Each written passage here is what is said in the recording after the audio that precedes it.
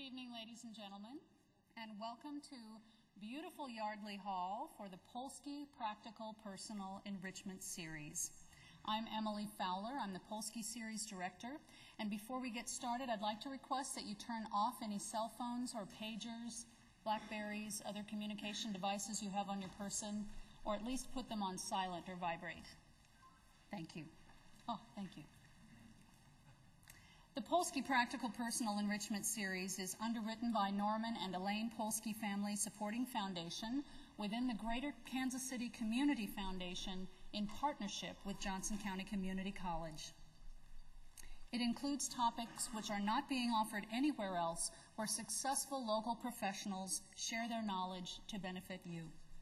Tonight, the interest in this program caused us to move into Yardley Hall, as you know, but for those of you that don't know, Norman Elaine Polsky's name graces the Polsky Theater just across the lobby from where we sit right now, where a variety of events are held each year.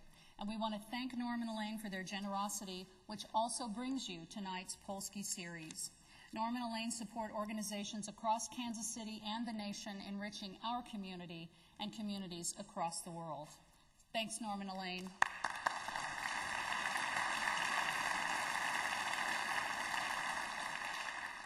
Let me take one quick moment to acknowledge Mundy and Yazdi Oriental Rugs for our rug on the stage this evening, and also to thank our TV and Carlsen Center production crews for their assistance in making the move to Yardley Hall tonight.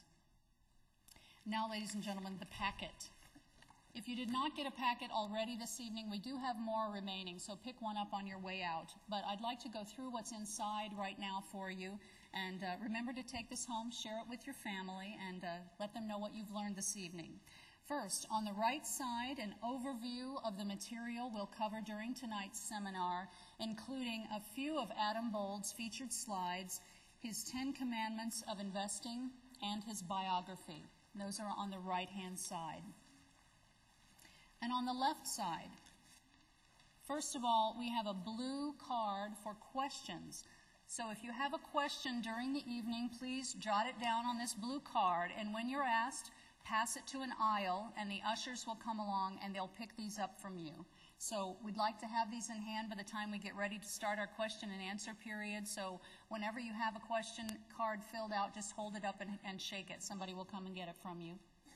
And also, the green survey card is in the packet as well. This allows you to add yourself to our mailing list if you're not already on it. You can suggest future topics for the series, and you can also give us a little bit of feedback so we know what we're doing well and what we can improve as we move from tonight to our next seminar. So please hand these in before you leave tonight. I will get a call from Norman in the morning, and he'll want to know how many Polsky survey cards did we get, and I want you yours to be among them. So please don't forget to leave that with us tonight. Behind the cards on blue is Norman's My Legacy to You Achieving Financial Independence and his 11 strategies for mutual fund investing. On the back of the blue sheet is an overview of the stock market's performance over the past 50 years. On the green sheet is Norman's quarterly article showing his own investment results and on the back of the green sheet is his investment history. If you would like to receive Norman's quarterly article, his address is on this green sheet near the bottom, and you can send him four self addressed stamped envelopes to that address, and he'll be happy to mail it to you each quarter. He mails out about 45 across the city, so if you'd like to be included, we'd be happy to do that. On purple are biographies of Norm and Elaine Polsky. On the back, you'll see a list of their 43 endowments that they currently fund. On the white sheet are our topics for 2007.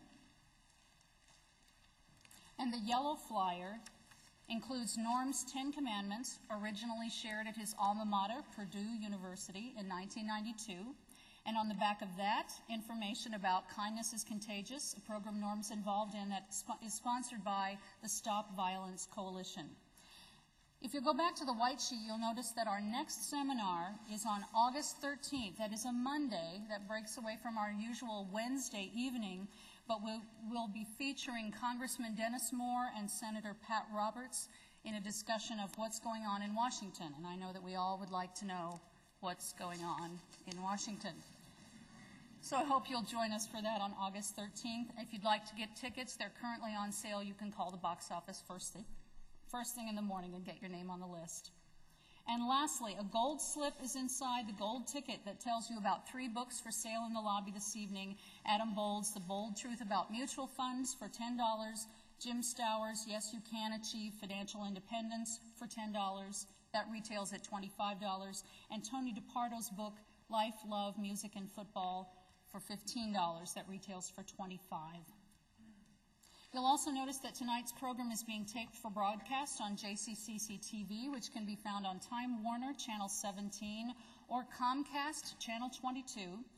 Links to Polsky Series broadcasts can also be found on the college's website at video.jccc.edu, where you can watch anytime. This program will start airing uh, later this week, so surf by the JCCC channel if you have a moment and check it out. Now it is my pleasure to introduce tonight's session with Adam Bold. Adam is the founder, executive chairman, and chief investment officer of the Mutual Fund Store, which he started in 1996.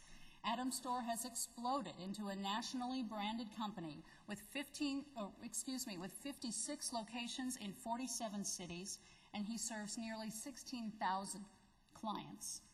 He also hosts the Mutual Fund Show, heard live in 47 radio markets across the country, locally here on KMBZ 980 AM, Saturday mornings at 10 o'clock.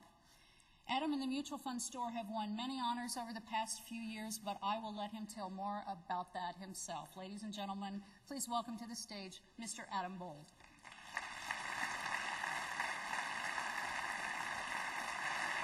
Thanks, Emily. Thank you all for coming this evening. Um, it's hard for me to compete with a Royals Cardinals game. Um, were I not here, I would be there. And uh, although that is a labor of love these days, isn't it? Last year, uh, in my presentation, I had a slide of, of, the Chiefs and a slide of the Royals. And the reason I, I, put those in there is because I find as I travel across the country and I go and I, I speak to, to different groups that when I put slides in at the local sports teams, and everybody goes, yay, and it makes them feel good, and they go, hey, that guy was, that was entertaining. Uh, but I think that the Royals might not help this year. So uh, you, you will not have any of that there. Um, first and foremost, I want to uh, thank Norm and Elaine Polsky. Um, Norm uh, is just a gem of a man. Um, he is somebody who I have come to know very well, somebody that I uh, respect uh, very deeply. And uh, Norman Elaine, I want to thank you very much for, for inviting me to be here, and of course to Johnson County Community College for, for hosting us this evening. So, uh, before I get to the agenda, I always like to start with a little. I hesitate to call it a joke because that's like that sets it up that it might be funny. So um, instead, I'll, I'll say a humorous anecdote. So this doctor, lawyer, and stockbroker are traveling through the country one evening and their car breaks down. And so they go to this, this farmhouse and they say to the farmer, hey, um, our car's broken down. Could, could, could, you give us a place to stay for the evening? So the farmer says, I, I, that's fine, but in my guest bedroom, I only have two beds, so one of you is going to have to sleep in the barn. The doctor says, all right, I'll, I'll sleep in the barn. So he goes out. About 10 minutes later, there's a knock on the door, and it's the doctor. And he said, Look, I got a little problem. He goes, I, I was willing to volunteer to sleep in the barn, but I'm Hindu, and there's a cow in the barn, and it would kind of be against my religion for me to, to, to sleep, sleep out in the barn. So the doctor, lawyer, lawyer says, Okay, I'll go sleep in the barn. So the lawyer goes out there. About 10 minutes later, knock on the door. The lawyer says, I, I was willing to sleep in the barn, but here's the problem because I'm Jewish and there's a pig in the barn and it would kind of be against my religion. I can't really sleep in the barn with, with the pig. So the stockbroker says, All right, I'll, I'll go out there. So about 10 minutes later, comes back, there's a knock at the door, and it's the pig and the cow. okay. It's on the verge of a joke. It's, it's somewhere between a humorous anecdote and a joke. All right, here's my agenda for the, this evening. Uh, I'm going to take just a couple minutes and uh, tell you what's going on with my company, the Mutual Fund Store. This evening is not designed to be a commercial for the Mutual Fund Store. And so, but I was told by my handlers that I had to say something about the Mutual Fund Store. So I'm going to get that out of the way first. Then I'm going to talk about five things that I think are wrong with the financial services industry and what I would do to fix those things. And then I will be happy to answer your questions, which, um, of course, we're writing on the blue cards. Because uh, I, I was having a hard time keeping track of all the different colored cards there for a minute. Um, so what's going on? Um, we are now at the Mutual Fund Store. We have 56 stores in 47 cities. Um, I'm proud to say we just opened our second location in the Kansas City metropolitan area up in, in the north part of the city in Liberty. It's actually at the, the shops of Shoal Creek. So uh, we're excited about that. And we are opening about two stores per month. Um, and we really now, we go coast to coast. We're from uh, San Francisco to Washington, D.C. We are border to border, Grand Rapids, Michigan to Houston, Texas um, and pretty much everywhere in between. So I'm, I'm really proud of what my team at the Mutual Fund Store has uh, accomplished. Um, in April, I hired a gentleman by the name of David Byers to be the CEO of the Mutual Fund Store. And uh, David used to be the chief operating officer at H&R Block. And really, the, the reason I did that was that um, I find that in this world, there are things that people are really good at and things that they aren't. Well, every day that goes by that our company gets bigger is a day that the company is bigger than one that I've ever run before. And so while I could have trial and errored my way through the next level of growth that we have with the company, I decided that it would be smarter to hire somebody who's already done it before, and David Byers is that guy. Uh, we now have more than 80 investment advisors across the country and uh, we manage just under $3.5 billion. Um, I did win the Ernst & Young Entrepreneur of the Year Award in 2006, which, um, by the way, was the, the, third time I'd been nominated. I was a finalist twice before, and then they finally gave it to me. That was pretty cool. Always the bridesmaid. Eventually the bride. There, there's a lesson that try, try again thing. Um, and then in 2007, uh, just uh, this month, we were uh, named one of the champions of business by the Kansas City Business Journal, which was a really, really neat award. And the thing that I like about it so much was number one, we were in really great company. Uh, some of the other companies that, that won the Champions of Business Award were companies like Garmin, uh, HNTB, some really great, prominent Kansas City companies. The other thing that I really, really liked about it was the fact that it, a lot of these awards that we win, they go, okay, this award goes to Adam. Adam gets this. This was not an Adam Award. This was a company award. And um, I've got a number of my, my people here this evening, but uh, I can tell you that while I will take credit for thinking of the concept of the mutual fund store, um, it's these people who have really executed it, and uh, I'm really proud of all of them. Uh, and uh, just this past week, the Business Journal has, you know, they've got that big list in there every week. They have the fastest growing Kansas City companies. Uh, we were on that list and, within the top 10 for the fifth year in a row, which um, I'm pretty excited about as well. Okay, let's get started. Five things I think are wrong with the financial services industry. First of all, it is too complicated. Um, for about 200 years, we've had a financial services industry in the United States, and for that 200 year period, the financial services companies have had a vested interest in making each and every one of us think that investing is really complicated. Because if it's complicated, then you need them to deal with it. If it's simple, then you can do it yourself. Um, so we have things like hedge funds, derivatives. Hedge funds, I mean, hedge funds have been, I mean, have just, there are literally now tens of thousands of hedge funds. We didn't have those years, and they all have these, fan, when, when you read about them, they have these fantastic strategies and all these things they're doing about, you know, it, it, but most people don't need that. Maybe if you're the, if you're running the endowment fund for Harvard University or something like that, you need to have a hedge fund strategy. But if you're just a normal person, you don't need that. Derivatives, exchange traded funds. Uh, there's a lot of press about ETFs. And I get calls to the radio show almost every week now about ETFs. What do you, what do you think about this ETF? Or are you going to start using ETFs for, for your clients at the mutual fund store? And uh, the bottom line is that an ETF is an exchange traded fund. All it is is a mutual fund that instead of trading once a day, the way that regular open-end mutual funds that, that we all, uh, you know, what we consider to be a regular mutual fund, these are funds that trade all day long. So if you want, you could buy it when you have a day like today, where the market was lower in the morning and then ended up on the high of the day. You could buy it in the morning and you could sell it in the afternoon and you can make a profit. That is, if you know for a fact that it's going to be higher in the afternoon than it was in the morning. And, you know, I don't know how anybody can know those things. Um, and there's day trading. Um, a lot of the day trading went away. Now a lot of the day trading is coming back. Um, recently, CNBC had a contest. It was they called it their Million Dollar Portfolio Challenge, and the prize was a million dollars, um, but it was over a seven-week period. Now, how do you win a contest that's seven weeks long? Well, what you do is you pick a stock that is cheap in price, less than a dollar, maybe 75 cents per share, and if it goes to a dollar within that, say, if you get lucky, then you can win a contest like that. But the reality is that that's just that's luck. That's not skillful investing, and um, anything can happen in, in seven weeks.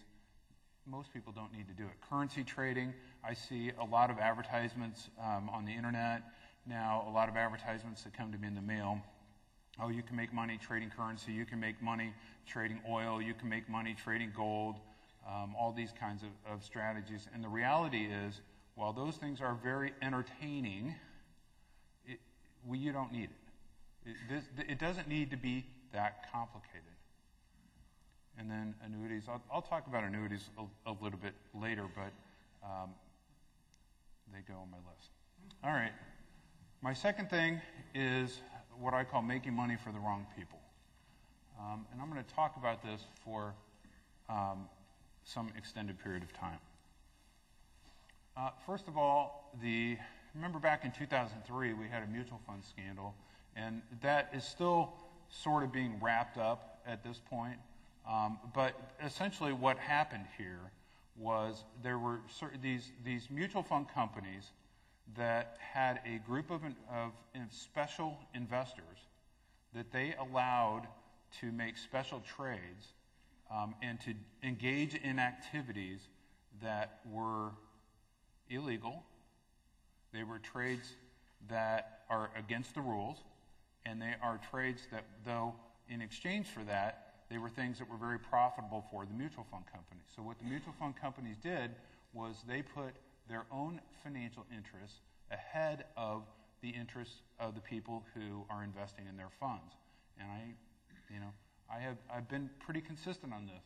Janus Strong, MFS, PBHG, AIM, Invesco. There's there's a number of these fund companies that were involved. Now, my issue is this, and that is that I'm confident that they will never again do what they did because they ended up having to pay hundreds of millions of dollars in fines for the, the, this naughtiness that they, that's a technical investment term, by the way, naughtiness. Um, this naughtiness that they, they engaged in was, uh, you know, they won't do that again. But the question is the next time that these people are presented with an opportunity to do something that is sort of shady, uh, might hurt the investors who invest in their funds, but is profitable for the fund company, what will they do? Well, I find that it's really hard to pick mutual funds. There's 20, I've got more than 23,000 in my database.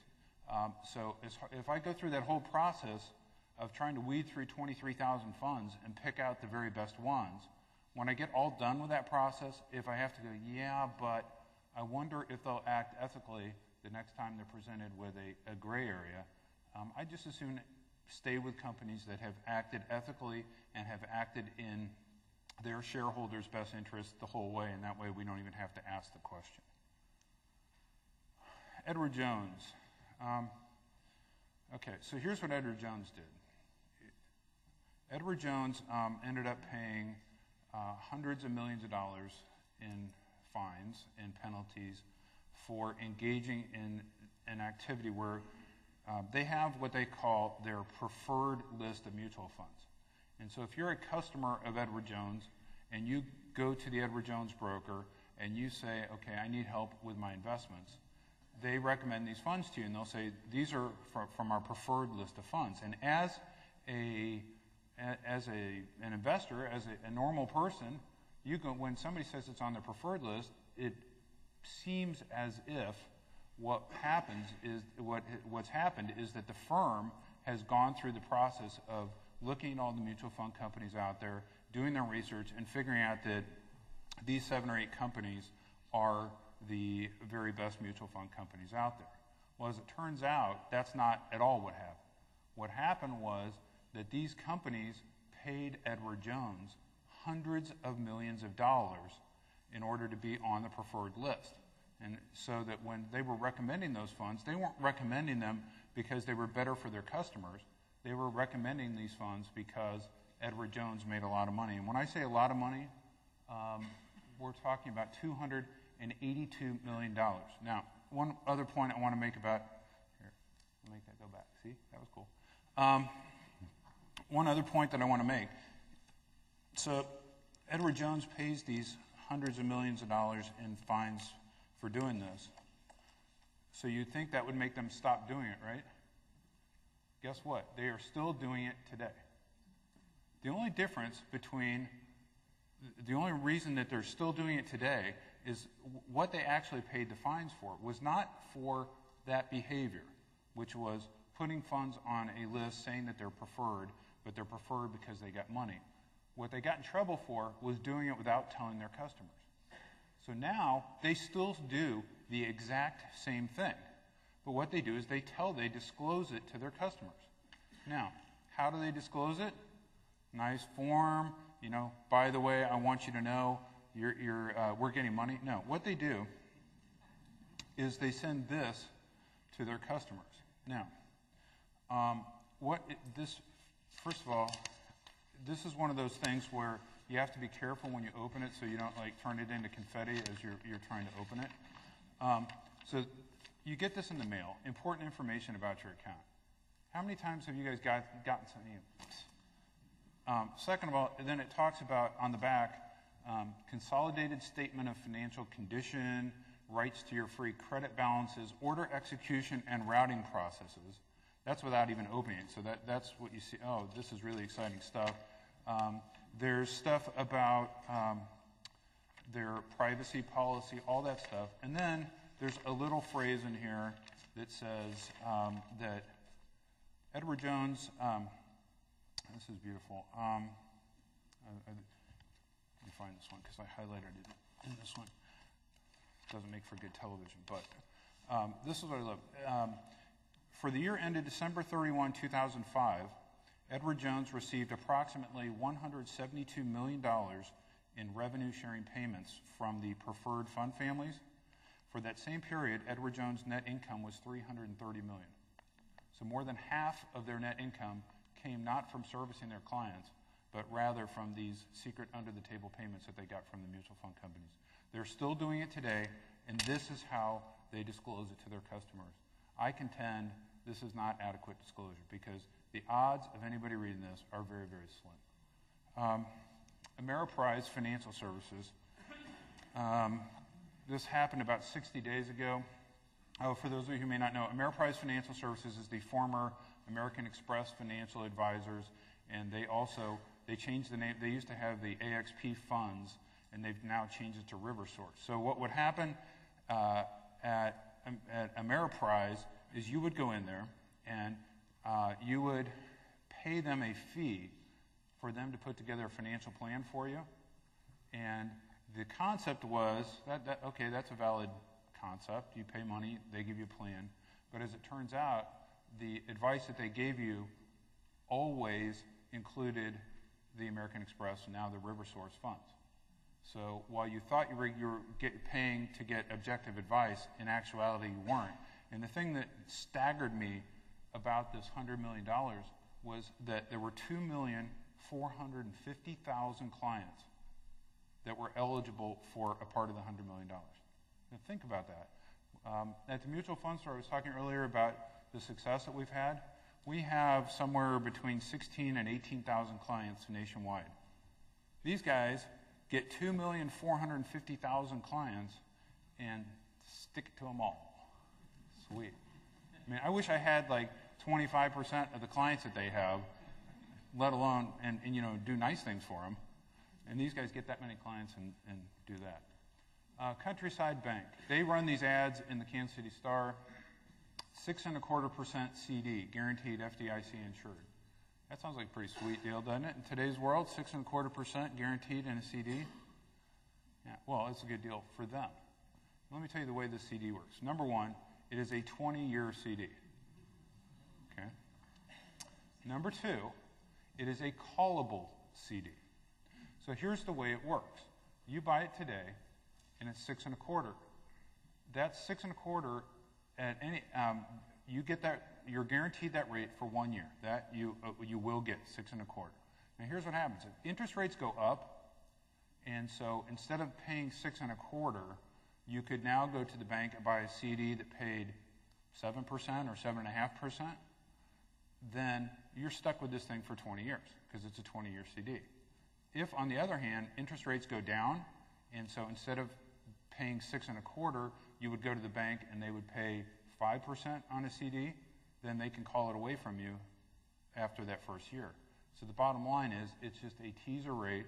It's a great deal for them because if, they, if whichever way interest rates go, the bank is completely protected. Whichever way the interest rates go, you're pretty much stuck. Um, this is a point I want to make. Um, I'd like to consider uh, the mutual fund store to be the most ethical company in the country when it comes to how we treat our clients. Um, but we are not the only ones. The, while I talk bad about, uh, first of all, I can't talk bad because that's an adjective, and I can talk badly because that's an adverb. Um, so I sometimes say bad things about the activities that some of these companies engage in, um, but um, I want you to know that the vast majority of investment advisors, the vast majority of these people, they really would, they would rather do well for their clients than poorly. Uh, but the bottom line is that there are still a lot of these, client, these companies that don't. Um, we start with the philosophy if it's good for the client, it'll ultimately be good for us. And regardless of whether it's the mutual fund store or some other advisor, I think that you should expect that your company, that whatever investment advisory firm you're dealing with, uh, or brokerage house, that they, they start with this premise. We have to do what's right for the client. Third, pay for advice, not for products. Um, for, for years, the financial services industry has been based on a commission model, unless you were rich. Now, for, for forever and for always, if you had $10 million, you could go to Goldman Sachs or you could go to the private client group at Bank of America, or you could go to Lehman Brothers, and they would manage your money for a fee. You give them their money, they charge you a fee, uh, a percentage of the assets under management in exchange for the advice that they're providing. If you were a normal person, a normal investor with some, you know, with less than $10 million to invest, then what you got were products. They sold you mutual funds that had a load up front, they sold you stocks, got to pay a commission to buy it, commission to sell it, whatever the, the case may be.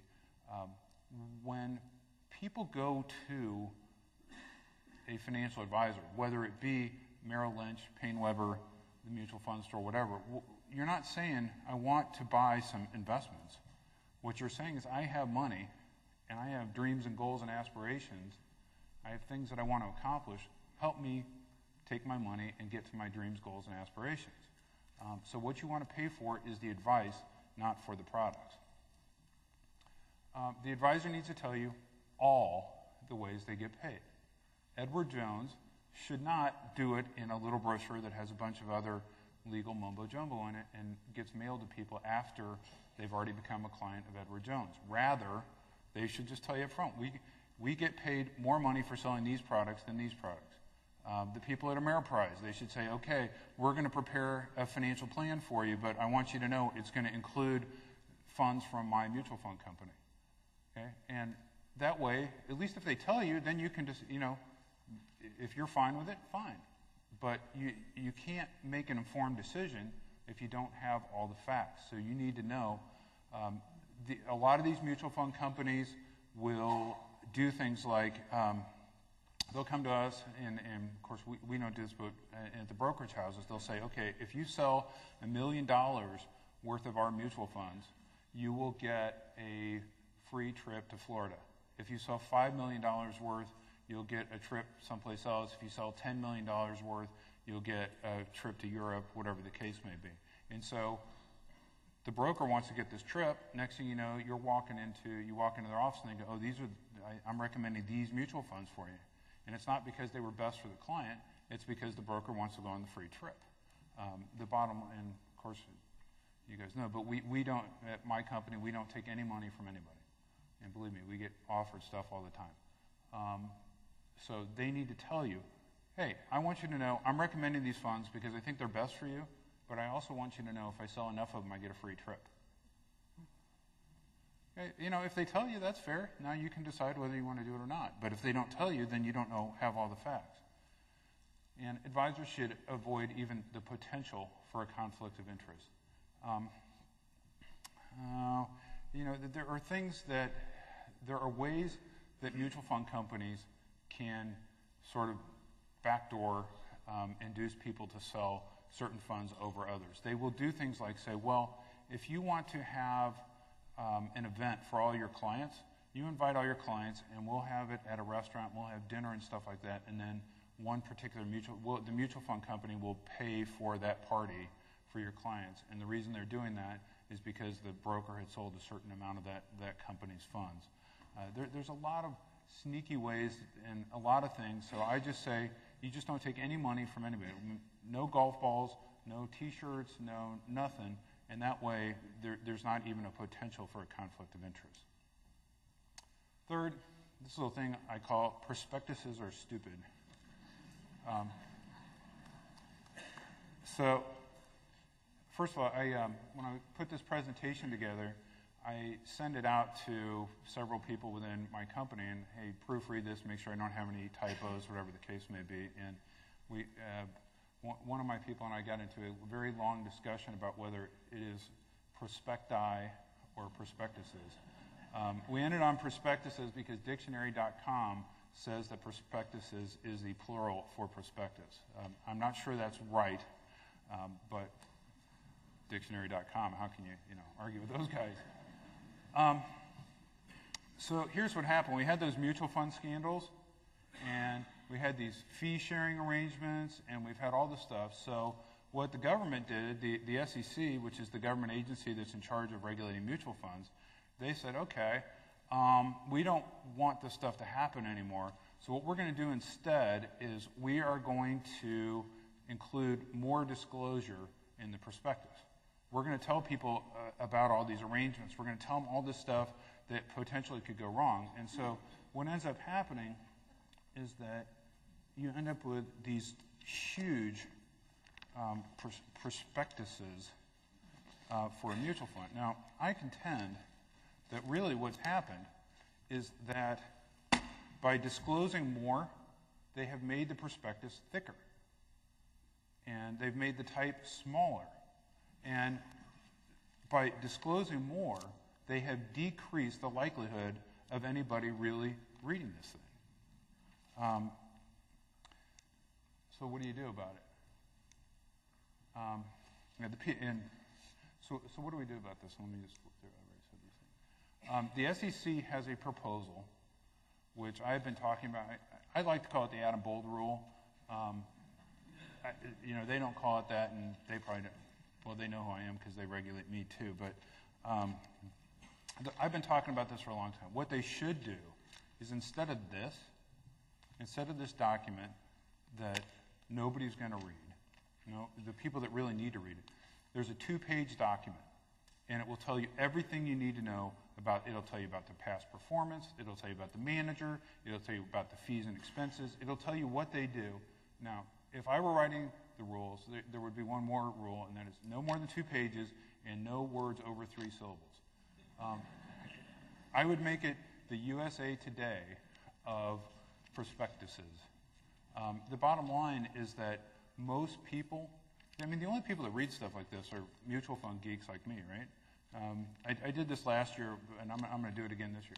How many people in this room have ever read a prospectus? Okay, now, here's question two. Follow up question. How many people in this room have thrown away 10, ti- 10 times or more the number of prospectuses that they've ever read? So that's the bottom line is that this, but if it was two pages, the odds, I'm not saying everybody would read it, but if it's two pages, the odds go up that, that people who need to know what's going on will read it. Now, they will still have this. And if you ask for it, they'll give it to you. But the bottom line is that there'll be some uniformity, and um, we'll see in September whether the government does the right thing or not.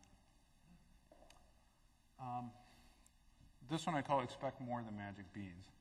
Um, remember the uh, Jack and the Beanstalk? And so Jack gives the guy his money. Um, the guy gives Jack the magic beans. And of course, at first his mother is very upset with him. Um, well, I contend that that's what happens a lot with investors and brokers, investment advisors, et, et. And that is that uh, people go and they will say, okay, I need help with my, I need some investment advice. And, and the broker goes, all right, give me your money, and then it'll grow into this big beanstalk, and you can go up there and get the golden harp from the giant. Um, you should expect more than magic beans. Number one, you should expect that your advisor will know you. Um, typically, when you go to a broker, an advisor, et cetera, what they will do is they will say, okay, are, uh, how old are you? Are you conservative, moderate, or aggressive? How long is it going to be before you retire? Or how much income do you need? And that's it. Um, I contend that's not enough. That's why in uh, our client profile, we do things like we, um, we ask questions like, you just heard the market went down 10%. Do you A, want to sell everything?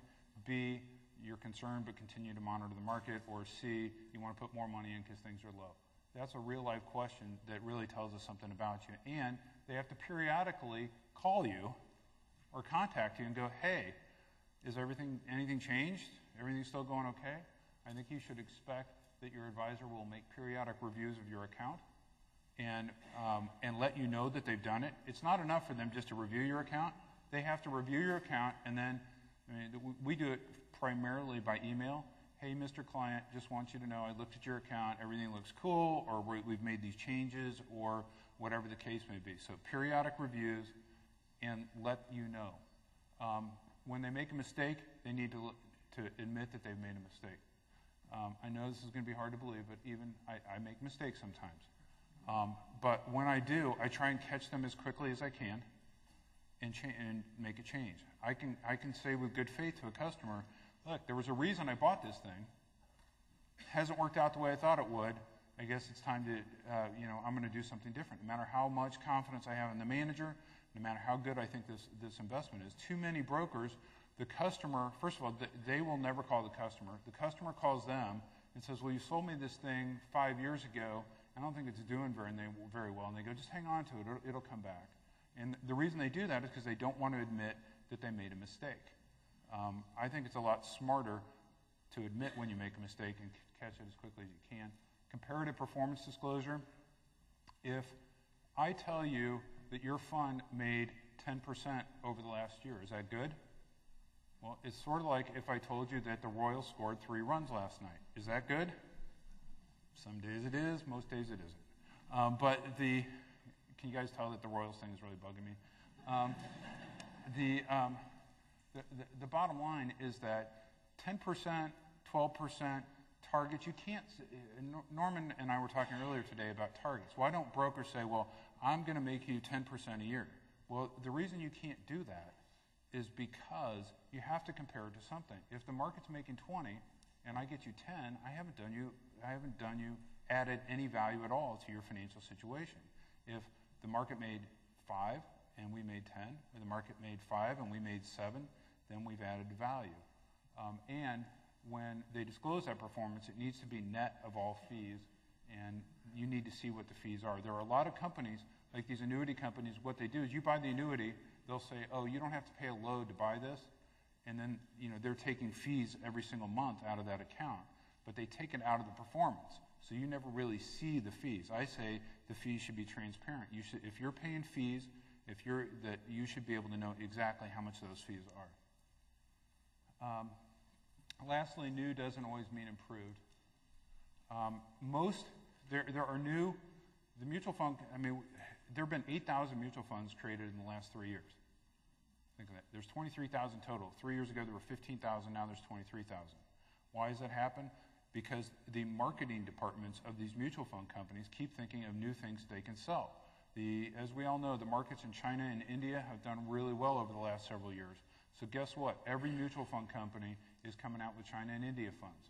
Those people will buy it because it's something that, that has done really well in the recent past. Um, the bottom line is that um, the, we don't need more mutual funds. We need better mutual funds. And we, rather than make, keep making more, maybe they should spend their time trying to make the ones they have better. Um, the, there's been a whole wave of new products created to um, appeal to scared investors. Um, I don't know if you guys remember um, 2000 through 2002. Do you remember that? It was kind of a long, it was like a bad time in the market. Remember that? Yeah? Okay. I, always said those three years were the worst decade of my life.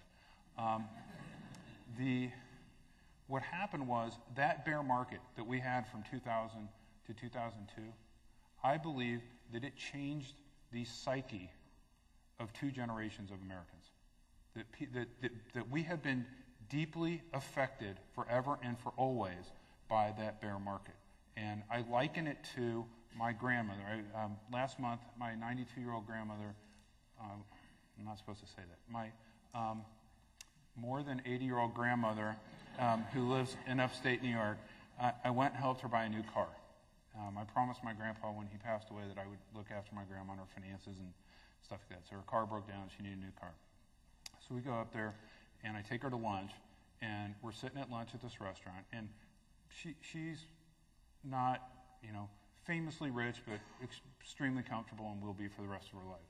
So we're having lunch, and she's taking sugar packets out of the, um, the thing at the restaurant, and she's putting them in her purse.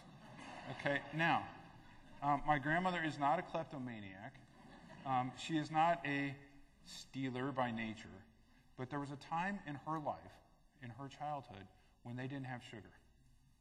And so it's, you know, she knows that she can always go to the store and buy sugar, but there's something in her psyche from the Depression, from rationing during World War II, where she has, there, there were times in her life where she went without sugar. And it is still to this day affecting her and her behavior. Well, I contend that the bear market is doing the same thing to everybody who was invested in the market in 2000. And so what happens is, whereas during the 80s, if we, in the, in the early 90s, if we had a market correction where the market went down 10 or 15 percent, people would go, oh, that kind of sucks. We're having a correction. It'll come back. Now, anytime we get the slightest little downturn in the market, people go, ah, it's, it's happening again. I, I, I can't do this again. Even though we've had four years in a row of really great markets, this has affected, and as a result, there are a lot of major financial services companies that are preying on those on people's fears, and they're selling these products that have supposed guarantees, and you know, and it sounds like you put your money into this thing, and if the market goes up, you you you, you get that, and if the market goes down, then you can't lose anything. Um, it's never that simple, and these companies, believe me, um, these companies didn't get as big as they are by uh, selling products where they were going to have to pay out on some guarantee and lose money. Um, and boring is okay. That's, that's, that's, I'm going to finish with boring is okay. Um, mutual funds, when you buy a portfolio of mutual funds and you have asset allocation and you're split between large cap and small cap and growth and value and domestic and international and stocks and bonds, um, it is not very exciting. I'll be the first one to tell you, you know, Um, my mutual funds don't split two for one. They don't have a blowout quarter. Um, they don't, you know, CNBC, eh, I get to go on CNBC every now and then, and the reason that they don't put me on there as much as they might is because they want me to answer questions like, what do you think will be the best mutual fund for the next three months? Well, how in the heck do I know that? Nobody does, but that's what they do. They're all about boom, boom, boom. Let's make that money right now. Well, it's you know they've got 12 hours of programming they have to fill every day, and so they they got to talk about something. Um, the bottom line is that if you want excitement, go to the casino. Um, I, I, mean that sincerely. I, um, I, I'm a blackjack player. I love the game of blackjack. I love the math behind it. I've read every single book there is. Um, I'm not a card counter, I, but I can remember cards better than other people. Um, I am. I love the, the, mathematics of the game. There, you know, it, it's a fascinating. But when I go to the casino, I'm not playing with my grocery money. I'm not playing with my kids' college money. I'm not playing with my retirement money. I'm playing with the same money that I might otherwise use to buy Royals tickets if they were any good. Okay? Um, brought it all back together. That's good. Um, so, bottom line is boring is okay for your investments. If you want recreation, go to the casino. You're going to know within an hour or two if it's going to work out or not. Um, you don't have to wait. You know, you don't have to wait years and years. But if what we're talking about is your serious money, then, then boring is, is fine. Okay, and with that, I will um, invite Miss Emily up here and uh, take questions.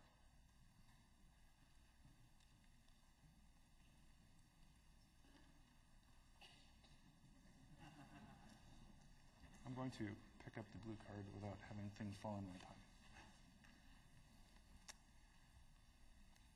Explain the difference between a Roth IRA My mic? There we go. Uh, explain the difference between a Roth IRA and a regular IRA in 25 words or less. this is, I like this because it's kind of like a contest. Um, it's a game. Basically, um, a regular IRA, you make contributions using um, pre-tax dollars. You either get a tax deduction or you pay the taxes first. The money grows tax deferred, and when you take it out, you will be taxed on the growth.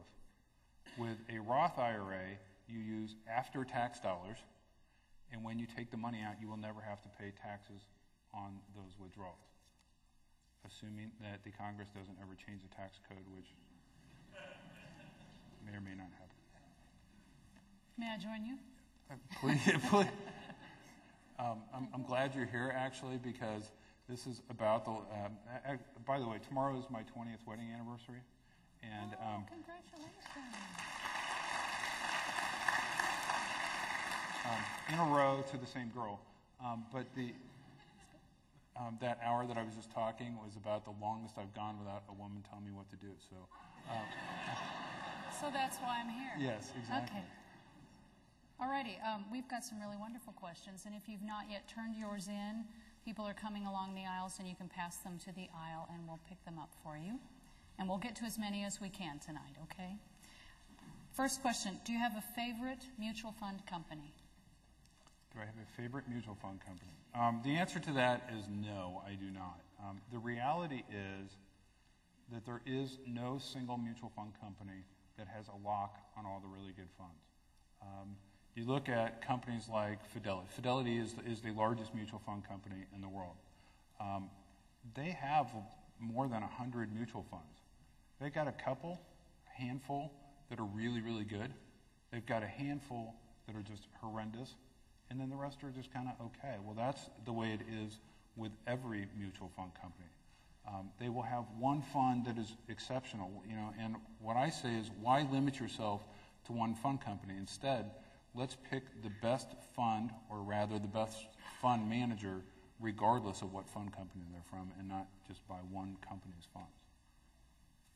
So your advice is really to look at the manager first and then to the fund? That, yeah, the, the name of the fund doesn't matter. The manager is what counts. Um, the bottom line is that in, in, in mutual funds, like every other business that is out there, every other field, there are some people that are better at it than others, and we want to pick those very best ones. Um, I hope this story isn't too off color, and I know my staff's going to get nervous when I, when I start a sentence like that. Um, I remember when um, my oldest daughter, Caitlin, was born, uh, my wife was a nurse at St. Luke's Hospital, and she said, look, Adam, when I get ready to have this baby, any of the anesthesiologists can give me the epidural except for these two guys. And she gave me, now, those guys w- were still doctors. They still had all this training. They had the same certificates, all those kinds of things. But she had seen them stick a needle into people's backs, and she didn't want them to do it to her. Okay. Now, the reality is, at the time when my daughter was born, I'm pretty sure she would have let me put the epidural in.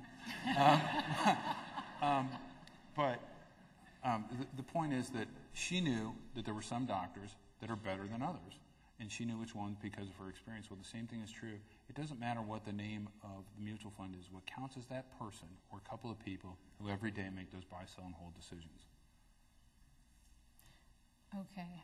Who would you suggest a new investor, and that's defined here as someone with less than $10,000, should go to for advice? Um, here's the thing: is uh, when you have less than ten thousand dollars to invest, um, it's very difficult to find somebody that's going to help you.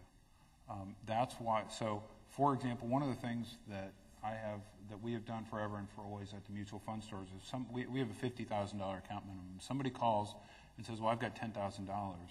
I have instructed all of my advisors across the country. You answer, you help them to get into the right place. In other words, we can't accept them as a client and manage their account on a daily basis, but we can at least point them in the right direction.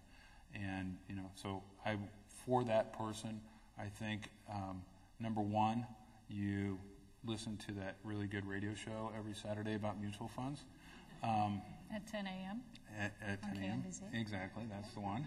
Um, and then, um, you know, read a little bit and, you know, find somebody that, that at least will point you in the right direction. Great. What would you say are your immediate goals for your company? Immediate goals? That's what the card says. the immediate goals for my company? Um, well, what I want to do is we just want to keep doing more of what we've been doing, and um, you know, we we only do one thing, and that's we help people manage their investments using mutual funds. We do it for individuals, and we do it for small businesses with their 401ks, and that's all we do. Um, like I said, we have somewhere between 16 and 18,000 clients uh, across the country. Um, that's I'd like to get to 2,450,000. And I, I give my word right here that um, I will be nice and do the right thing for every single one of them. So that, that's all we want to do. Why do you think some brokers advise people 65 years and over to sell mutual funds and stocks and buy safe investments like bonds and T-bills? So here's the thing. Um, what, what happens is, first of all, people, younger people, they always go, "Oh, you should save for retirement. Okay, why? They never tell you why. You know, just you should save for retirement. That's what they, they always tell you. Well, the answer is that the reason you save for retirement is to accumulate a pool of money from which you can create an income stream in, to supplement your income in retirement. So you get your Social Security, maybe get a little pension, and, and then you've got this other money that you can take money out of your account each month. Um, there is a traditional school of thought that once you retire and you have no ability to earn more money, that you should just protect that. But the reality is that that is a huge mistake. Now, I believe that a portion of of people's retired people and people approaching retirement should be in safer, less volatile investments. But they're also going to need a growth component because the reality is, and especially now, you know, it used to be people would retire at 65 and die at 70. Now people, you know, retire at, at 65 and live to be 90, 92, like my, uh, eight, more than 80, like my grandmother. um, What She- kind of car did you buy her, by the way? She got this Inf- Infiniti G35X, and I wanted I, I wanted something with like a lot of um, airbags and um, I, I, I, I, GPS. well, actually, what I was trying to decide was whether I was going to get her a car that was good for her or a car that was good for the rest of society. Because I, I figured like if I got her a Hummer or something like that, then when she hit things, that it would protect her, but then the rest of society might be harmed. So um, I tried, tried, tried to find the best of, of both worlds there. But, but ultimately, um, when you retire, e- even if you are retired and you don't have an income anymore, things are going to cost more 10 years from now than they cost right now. And you've got to have that growth component if you're going to, um, if you're going to successfully, you know, not run out of money um, before the end of your life.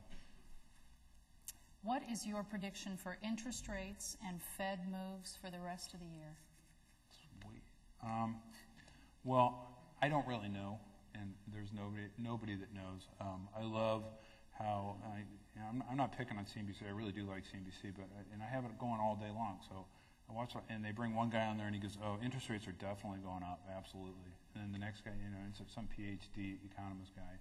Then they bring on another one, and he goes, "Oh, interest rates are definitely going down. They're going to cut rates." And um, nobody knows for sure. What I do know is this: um, right now, we have a, an interest rate environment. We have an economic environment that is about as good as anybody could hope for. The economy is growing, corporate profits are growing, but not too much. Um, we're nearing full employment, but we're not. Um, things aren't hyper-inflated, and so my expectation is that we will see interest rates fluctuate between four and a half. The ten-year Treasury will fluctuate between four and a half and five and a half percent between now and the end of the year and that when the Federal Reserve does make its next move, it will be down. They will cut rates rather than raise rates. But I don't think there's going to be anything, possibly, they may go the rest of the year and not do it. If they do, it'll be towards the end of the year. Thank you. And here's somebody who says there's a lot of seminars out there, and what they're hearing is that annuities are the thing to do. Do you feel you've spoken to that? Or do you think there's anything more you can tell us about annuities versus mutual funds? Well, um, anybody that's listened to my radio show, and I'm going to assume that people that are, that are here tonight have, have listened to the radio show, know I'm not a big fan of annuities. Um, so I'm not going to do an expanded discussion of that. What I can tell you is that I put annuities into the list of uh, products that have been created to um, appeal to people who are scared of the markets. And the mutual fund, co- the, the annuity companies and the insurance companies are getting really, really good at creating these new products and marketing, saying things in a way that scared investors will respond to. Now, as far as the seminars go, there are companies out there that are in the business of marketing to seniors. If you ever see, if you ever get something from somebody who is a certified senior advisor, okay, do you know how you become a certified senior advisor? This designation that they, they have is there, there's this company, and you pay them money to subscribe to their service. And what they do is they have market, they, they send out cards and they do um, mailings to senior citizens and get them to come to seminars. So you become a senior citizen, a senior advisor by a certified senior advisor by paying this company money to market for you so that you can go to seminars and sell annuities. Um, the bottom line, there's a lot of these schemes out there, and um, most of them are, are, are not good. Okay.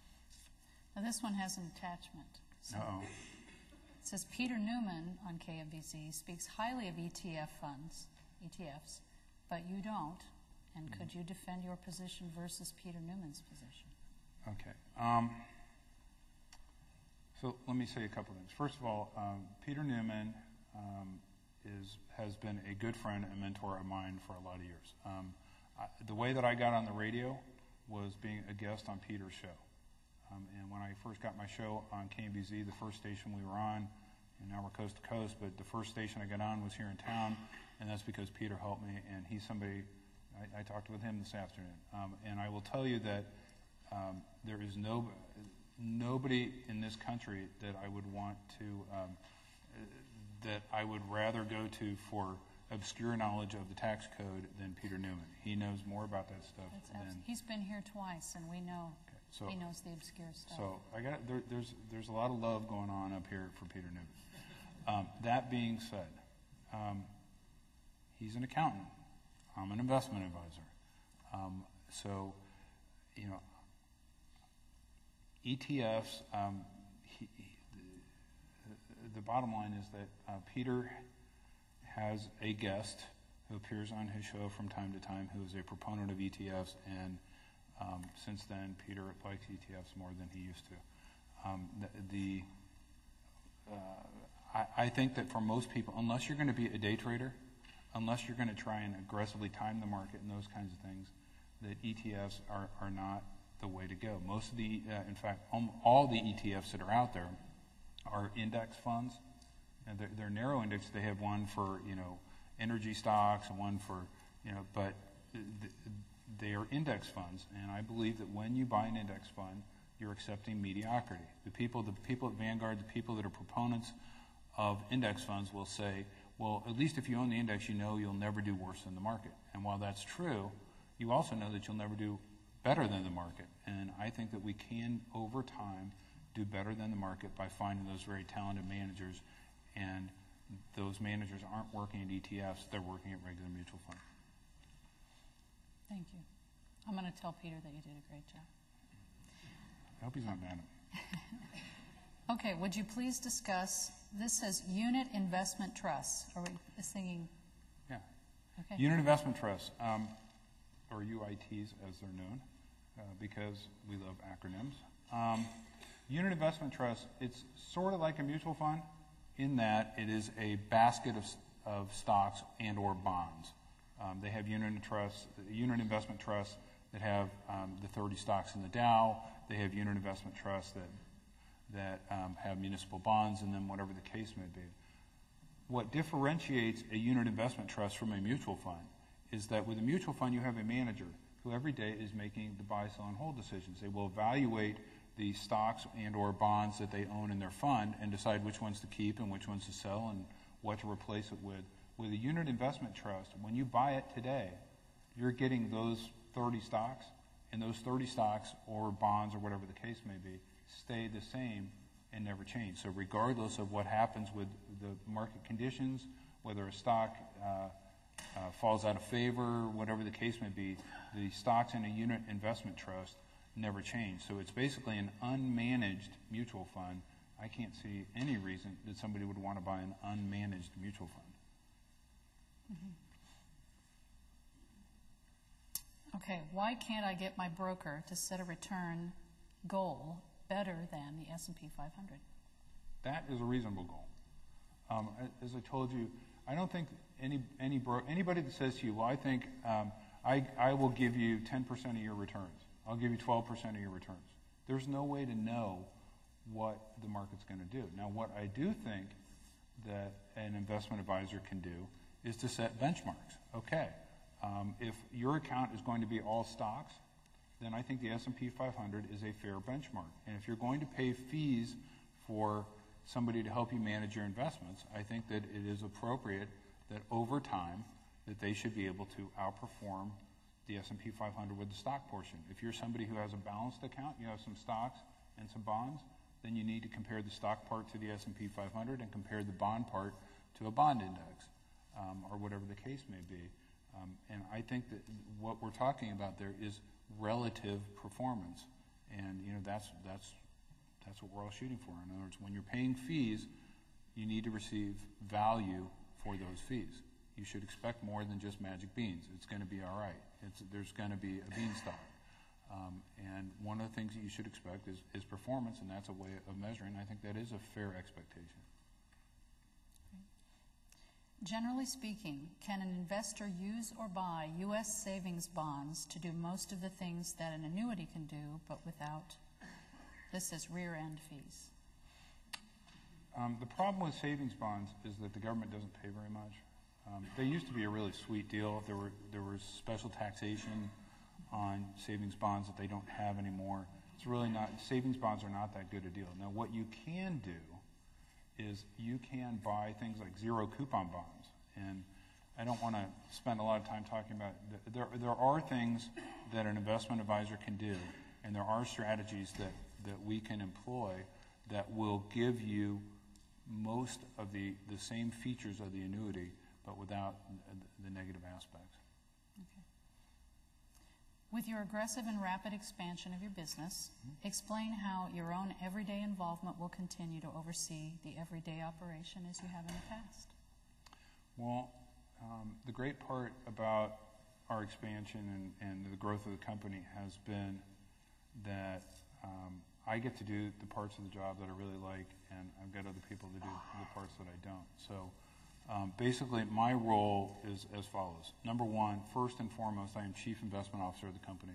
I spend a great portion of my time talking with fund managers, talking with economists, talking with people, trying to figure out which are the best mutual funds for our clients, uh, what proportions we should have in various funds and asset classes for our clients, et cetera.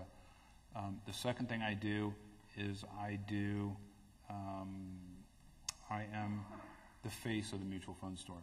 So I get to come and give speeches like this and do so all over the country. Um, I do the radio show, do the television appearances, that kind of stuff. And then lastly, uh, I am in charge of strategic vision for the company. Um, I think of things that, and honestly, um, which I don't do that very well either, but um, and honestly, I, I think of things that other people don't, and, and so th- those are my roles.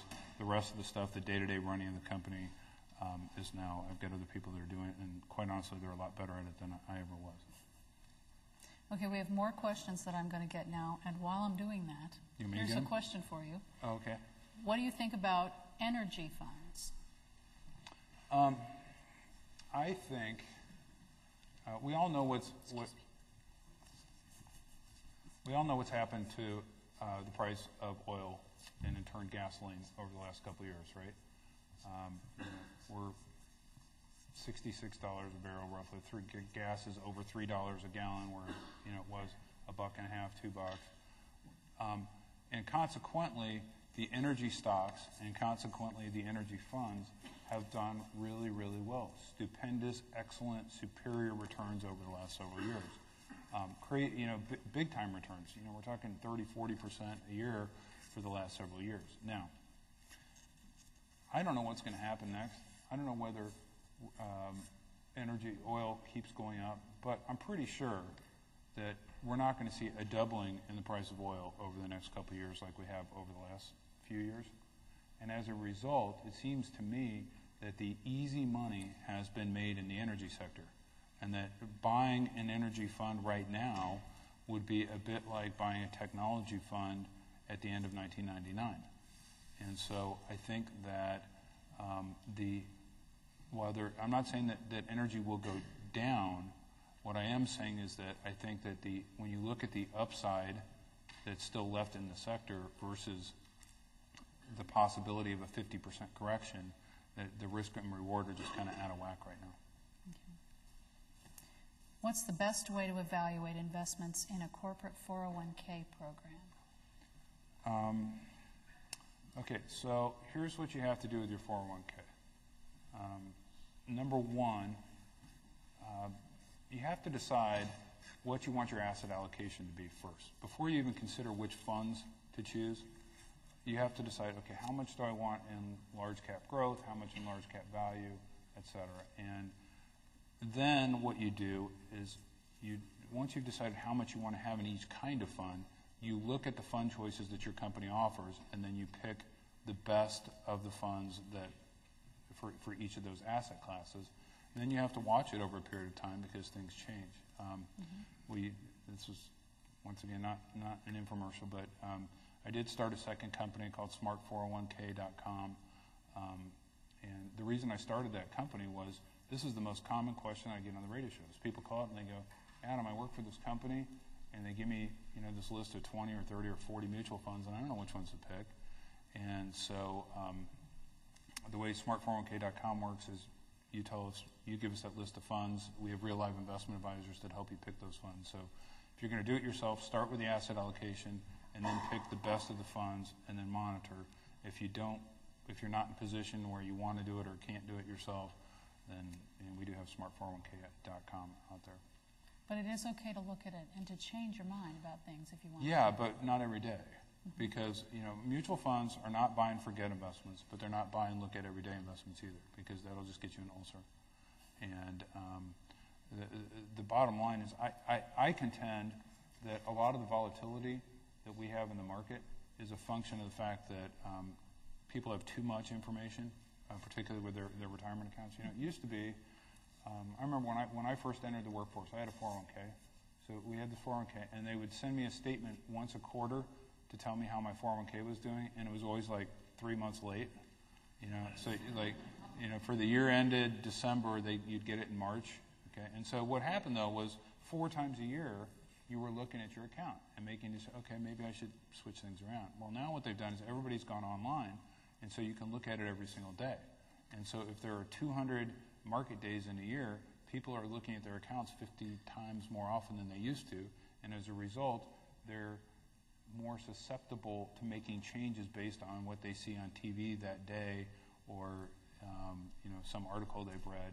Whereas it used to be because you only got you had to do it through the mail and, and an 800 number, people didn't change it as much. So I don't think you change it all the time. You just monitor and make changes as necessary. Okay. Here's an interesting question. How does the mutual fund store match an advisor to a client? Um, that's a good question. Um, and not saying that the rest of them weren't good questions, by the way. Um, the basically what we've done is we have um, it, when I started the company, it was just me. So you know, every client got me, um, and then um, the co- company continued to grow, and so I, I hired another advisor, and then I hired another advisor, and kind of what we we do is we have a certain number of investment advisors who are taking new clients, and we have other investment advisors who have been with me for a number of years and have um, a big enough client base that what they spend their time doing is just taking care of their existing clients. Um, what I can tell you unequivocally is that it, if you go to any mutual fund store location in this country, including those here in Kansas City, I don't care which advisor you talk to. Number one, I'm making, I make, I choose the funds. They're working off of my list of funds. I, I put together the asset allocation templates. But more importantly, I don't care where you go. Um, there's not a one of them that I wouldn't let manage my money. Um, I, we have just this incredibly great group of people, and we're very selective. We have, I can tell you, um, that we have far more people that want to work for us than we have positions for people. So we've, we've gotten to be very selective. Great. How should someone in their early 30s diversify between before tax 401k or IRA and after tax accounts like a Roth? Okay. Um, I think that whether you're in your 20s, 30s, 40s, 50s, 60s, it doesn't really matter. I, I, um, I think the answer is, is, the same, and that is that um, I like 401ks. Um, I like 403bs, retirement plans at work, and I like them for several reasons. Number one, um, you're using pre-tax dollars. So, so what happens is when you put money into your retirement plan at work, you're going to get growth on the money that you contribute to that to that 401k. You're going to get growth if there's on any contributions the company makes. You're going to get growth on your growth, but most importantly, you're going to get growth on the money that you would otherwise pay in taxes. And so, um, the money, even if you have decent funds in your 401k, that's as good as having good funds outside your 401k because you don't, you're getting the money in on a pre-tax basis. Now, that being said, it's also important to have some money that is not in your retirement plans because sometimes the furnace breaks. Sometimes your car, you get in an accident that was no fault of your own and you have to pay the deductible for the insurance. Sometimes you have three teenage daughters that all need braces at the same time, uh, or need to go to college at the same time, or need to go to Abercrombie and Fitch at the same time. Um, anecdotally, let's just say. You sound like you're speaking from experience. Perhaps. I, I think, um, you know, we were talking earlier about those awards that I had won. I'm pretty sure that with my three daughters that Abercrombie, I should get some kind of prize from them too. So. If there were only two investment choices, and they were a bank CD or a total market index fund, which would you choose? Well, um, That'd be pretty boring, but that would be boring. Um, First of all, that there aren't only two choices. So this is a ridiculous, like, that's like one of those questions like, um, you know, which of your kids would you kill first? You know? um, um, the, um, the bottom line is that, you know, the total market index, so, so here, here's a better, I'm going to rephrase that question. Okay? And that is, you know, are index funds bad?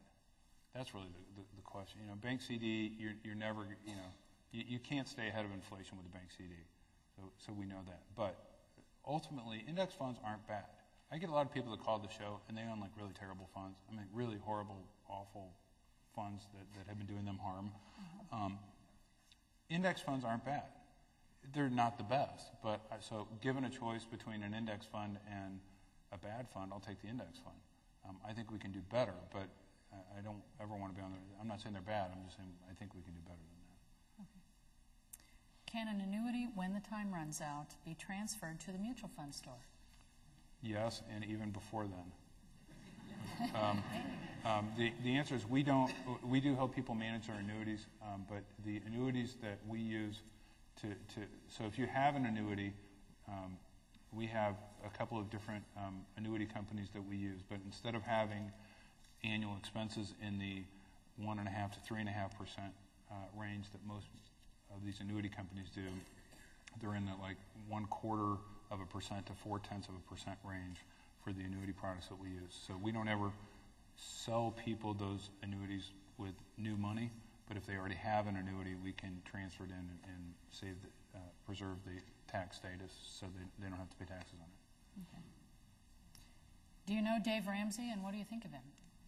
Um, I don't know Dave Ramsey, and um, you know, the, and I've never met Bob Brinker. Um, I've never met. Uh, actually, I've met Suze Orman briefly uh, one time, but you know, she doesn't know. There's a lot of people out there. There's a lot of people who have opinions, and, I'll be the first one to tell you. Um, the system that I have developed at the, at the mutual fund store over the last 11 years for picking mutual funds and for having asset allocation and all those kinds of things, it is not the only way to do well with your investments over the long run. Now, it's a good way, and I, I think, personally, I think it's the best way. But th- there's other people that have good strategies out there and other people that, that do good things that are, that are different than, than what we do. Um, so I think, you know, the world is, is there's, there's a lot of talented people out there, and there's going to always be a lot of differing opinions out there. Are Suze Orman's teeth that white in person? Because aren't Um, they white? They're very white. Yeah, she, um, she doesn't seem like, oh, never mind. Okay. Moving on. Were there not television cameras here, I would finish that statement. We'll talk about it later. Yeah, exactly. Fund managers are retiring, so what, as an investor, can you do? Should you pull out? Should you just wait, or what? Well, most of the time when a fund manager retires, see, anytime uh, there's a change of fund management, you have to start watching the fund much more closely than you would have otherwise. Um, typically, when a fund manager retires, they don't just retire out of the blue. They um, they say, okay, I'm going to retire in 2010. So they've got three years to train a protege to run the fund uh, afterwards. Um, what I typically do is, if it is that kind of situation where a fund manager retires and their protege, somebody they've personally trained and has been there working with them, takes over the fund, then um, I'll give them the benefit of the doubt for a little while and see how they do. But you definitely have to watch it much more closely than you would have if the manager had still been there. Okay. I've had a couple folks ask here about um, A.G. Edwards. Any, any words about that specific company? Um, well, um, as most of you, A.G. Edwards was, uh, last week, has entered into um, an agreement to be acquired by Wachovia. Um, Wachovia is a big banking company. They also, they bought Prudential Securities. This will make them one of the three largest brokerage houses in the country. Um, A.G. Edwards is a fine company, an ethical company. I don't have any ethical issues with them. Um, but they are a commission-based brokerage house. And so, you know, I think that the system is set up in a way where they're, the people, the brokers that work for them are, are, uh, re- financially rewarded for engaging in transactions rather than financially rewarded for managing their clients' accounts and doing well over extended periods of time. Do you think the mutual fund store will ever be on the New York Stock Exchange? Um, I don't know. Um, I, I don't have any plans to do a, an IPO in, in the next month or two. Um, someday, who knows? Um, right now, we're doing what we do, and we're doing more of it, and I'm having a good time. And so, who knows? Great. Is it important to return proxy notes on your accounts? Um, well, for um, for our clients at the mutual fund store, we vote the proxies for all of our clients on the mutual funds that, that we hold for them. Um, you know, if you are a normal investor and you have a small proportion, you know, you have a ten or twenty thousand dollar account at a mutual fund, then maybe not a big deal. Um, if you're Norm Polsky, it's probably more important. Are foreign funds less volatile than U.S. mutual funds? And how do you decide which foreign funds are the best? Well, um, first of all, the way that you, let's go backwards. Um, the way that you measure foreign funds is against what's called the EFA index, the EAFE. It's the Europe, Australia, Far East index. Just like I was saying, you have to compare the performance of your stock funds versus the S&P 500. You have to do the same thing on your international funds, but you can't compare it to the to the S&P 500. You have to compare it to, to the markets outside, and we do that with the EFA index. Um, as far as whether they're less volatile, the, the international markets have done better. The markets outside the U.S. on the whole have done better over the last several years than the markets inside the U.S. Um, but every dog has its day, and sooner or later, you know, as soon as you figure out that oh, the markets outside the U.S. do better than the U.S. and people start putting all their money overseas, then guess what? The U.S. market will start doing better, and you know, people because people tend to jump after something has happened and had a big move rather than before. Okay, I think this is going to be our last question for tonight, but what one thought should I leave here with after listening to you tonight? Um, Or two thoughts? No, I'll give you one thought. Um, it's really, I, I- I will go to my core, when in doubt, I go to my core philosophy. And that is, if you're going to take the risk of the market, you owe it to yourself to be in the best investments possible. And there are a lot of options out there. There are stocks, there are bonds, there are mutual funds, and there's 23,000 of them, and there's unit investment trusts and ETFs and annuities and all these things that we talked about tonight. There's all these these these these um, things that are out there. Um, if they all have risks, some of them come with thicker books than others, um, but they all have risks. They all have um, upside potential and downside risks. Um, but the bottom line is that if you're going to take that risk, don't just accept mediocrity. Too many people in this world will accept mediocrity. You're taking all that risk.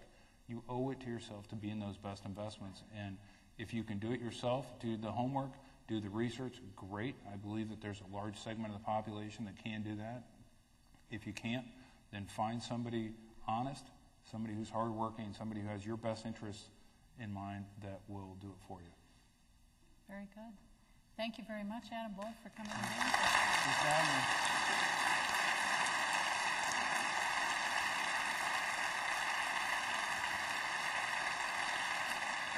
and before you go, I only have three things to say.